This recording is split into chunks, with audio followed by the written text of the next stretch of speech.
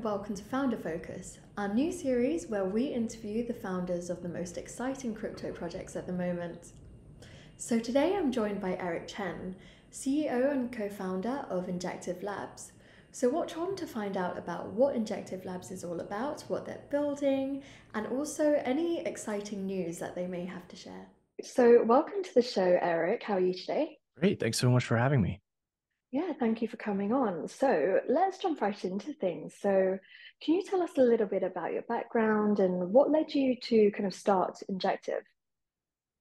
Yeah, so um, basically, I found out about you know the entire industry and the space uh, as early as high school. Um, kind of kept following it until like college, where we were doing a lot more on the research side of things, and uh, realized there was a quite of a strong connection between the kind of discipline I was going for, the track I was going for, and also like the industry itself.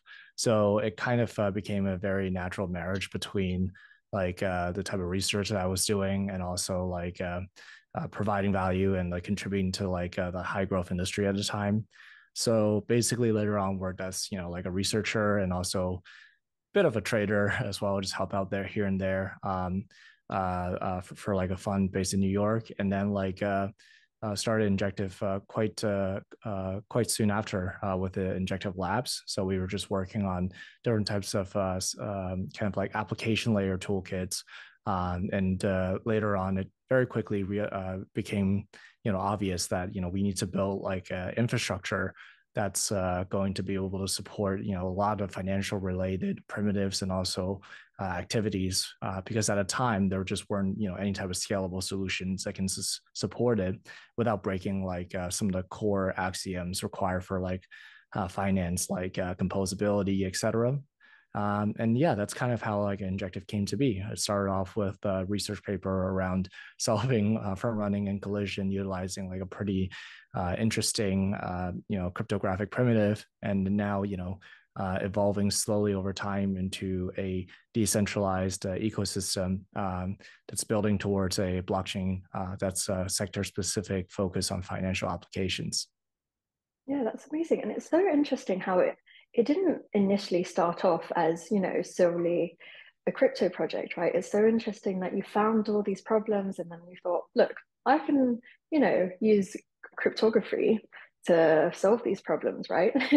yeah, yeah. I, I think like uh, cryptography and uh, you know like a crypto or like blockchain um, is probably uh, the most uh, interwoven uh, type of like academic discipline versus like industry application. You get to see a lot of very very exciting like uh, cryptographic primitives uh, coming into life and you know being used and having you know very much palpable impacts within a matter of like months or years versus like traditionally you would have to you know wait decades before like a certain like cryptographic primitive is being adopted or used and approved by I don't know like NSA Mm-hmm.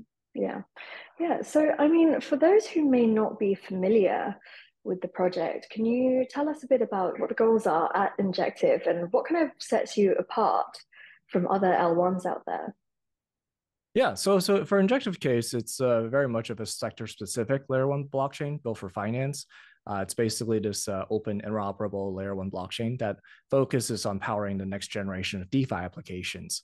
Uh, that could include um, decentralized spot and derivatives exchange, uh, prediction markets, lending protocols, and much, much more.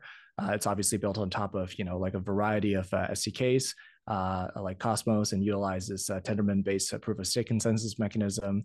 And a lot of the, you know, like the native uh, work that we've done allows for the infrastructure to provide uh, instant finality with uh, extremely fast performance at, you know, more than 25,000 plus trades per second. Yeah, amazing. Thank you. And um, so obviously you guys started in 2018, right? So can you tell us a bit about your journey to where you are now and any obstacles you faced and how you um, solved them? Oh God, where do I start? Um, so basically, uh, for for Injective Labs case, it started off as like a um, kind of like a toolkit or like an application um, that resolves you know some of the limitations within the DeFi space um, back in you know the Ethereum ecosystem back in the day.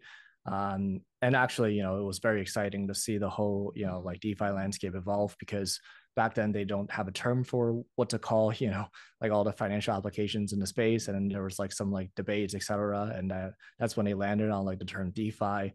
Um, and for our case for injective labs uh, it's to build you know like an exchange infrastructure uh, as like a you know scaling solution uh, uh, somewhat uh, for Ethereum that resolves a lot of front running MEV related issues. And very soon we quickly realized that, you know, um, uh, not only matching uh, has to ha- happen, you know, like within the injective infrastructure, settlement also has to happen within the injective infrastructure as well to provide or, you know, to, to create like a uh, robust like financial ecosystem for all these uh, applications and for all these utilities to thrive. And uh, that's when you know Injective slowly evolved into um, a layer one that allows for applications to host themselves that has a lot of the out of box uh, modules like you know the Exchange module, the Oracle module, et cetera, that allows for you know almost uh, like a cheat code for these uh, applications to leverage uh, at you know always a lower cost than uh, any other blockchain, always at you know uh, much higher safety than any other blockchain uh, in perpetuity, um, and you know powering the next generation of DeFi applications that were not possible to be built before on you know the Ethereum ecosystem. And of course, a lot of obstacles, uh, you know, along the way, we had to, you know, build a lot of uh, core primitives and also like the core infrastructures that eventually, you know, like shapes up to be what Injective is today. Yeah, amazing. I'm, I'm, sure the the ecosystem would agree with you know everything that you're doing. But say, I know like, you know, it's mostly for DeFi applications and everything, but what are your, let's say, like top three, you know, most exciting use cases or projects out there that's building on Injective right now? Yeah, so so for Injective Labs case, uh, it's not just about you know contributing to the you know core modules within uh, the Injective blockchain, right? It's also about building a lot of applications uh, on top of uh, you know the Injective ecosystem, and you know contributing to Helix, contributing to Mito, contributing to a lot of those applications are you know are currently serving as a flagship of uh, you know its own verticals. So you know we certainly have a bias towards those type of applications, and I think there are certainly a very a lot of very very exciting like apps built by the ecosystem.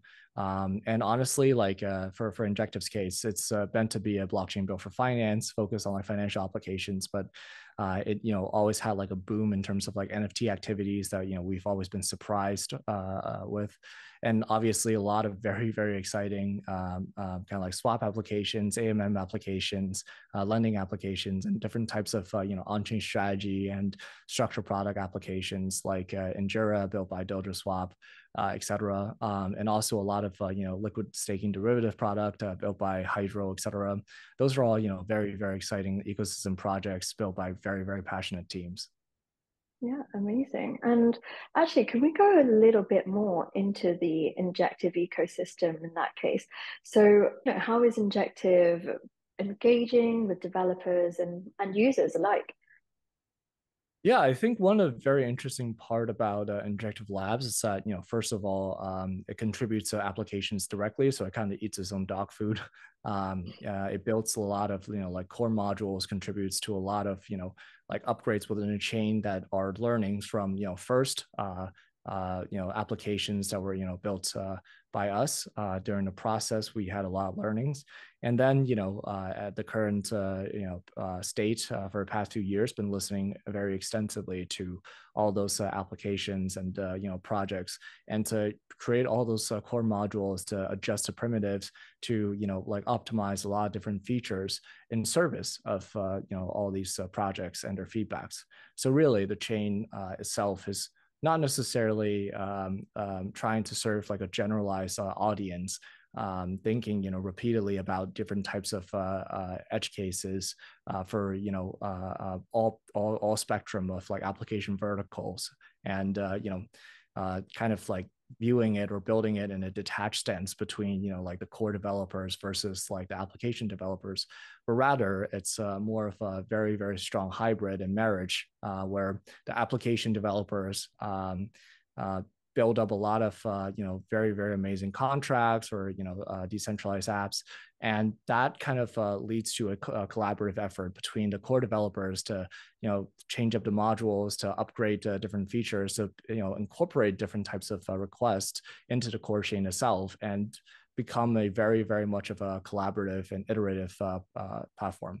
So i think this is why you know um, uh, injective is so unique and uh, so special in a way where you know it's a more of a collaborative process where you know the application developers shape what the blockchain looks like.